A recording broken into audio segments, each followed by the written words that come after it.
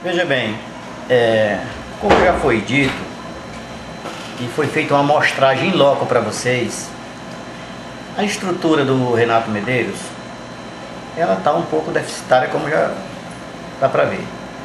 Mas eu já afirmei para vocês, na outra entrevista, que já foram solicitadas as melhorias daqui. A Vigilância Sanitária veio aqui, ela fez a notificação do, das deficiências, do, do espaço físico, da situação daqui. E depois eu fiz documentos, é, quando uma coisa entope, quebra, a gente sempre está informando a secretaria para que tome as devidas providências.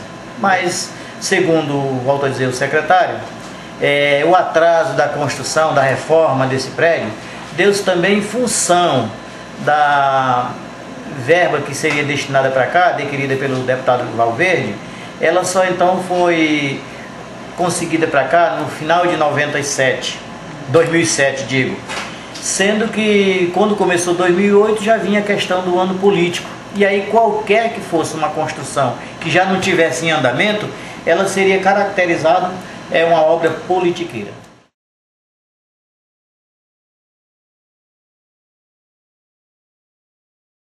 A água, segundo um geólogo que eu trouxe ele até aqui, essa região aqui, ela tem um lençol com uma, uma camada de um laterito, de um cascalho ferruginoso, numa profundeza aí de uns 25 ou mais metros.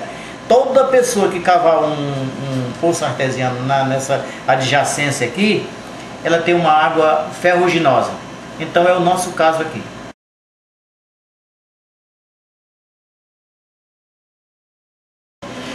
Material de limpeza higiene pessoal ou remédio é, não deixa muito a desejar, porque sempre nós estamos em cima pedindo e está vindo uma coisa ou outra, dá para atender a comunidade sem nenhum problema. Agora a comunidade também é outro que deixa a desejar.